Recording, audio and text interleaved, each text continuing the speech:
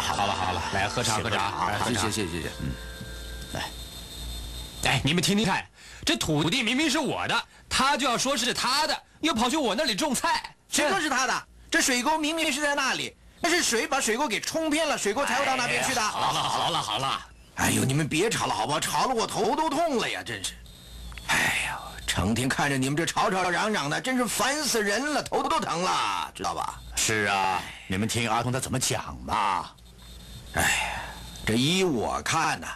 反正你们也搞不懂正确的戒指到底在什么地方，那也只有申请鉴界这么一条路可走了。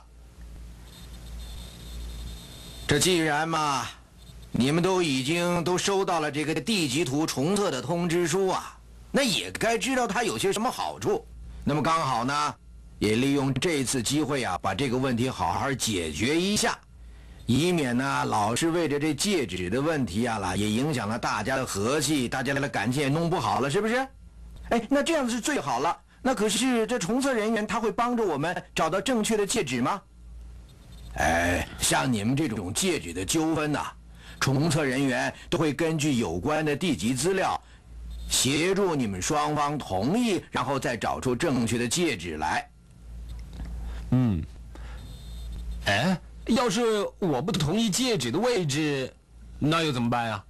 哦，呃，如果不同意的话呢，呃，他们就会通知所有权人，呃，在地政事务所协调。如果再不同意呢，就会经由县市政府地籍图重测戒指纠纷协调会呢来协助调解这个问题了。哦，那阿东伯啊，这个问题我现在就了解了。